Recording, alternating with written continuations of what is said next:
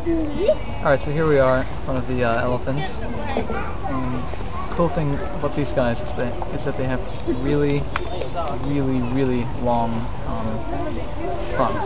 And that's, that's cool. And that's pretty much all there is to say.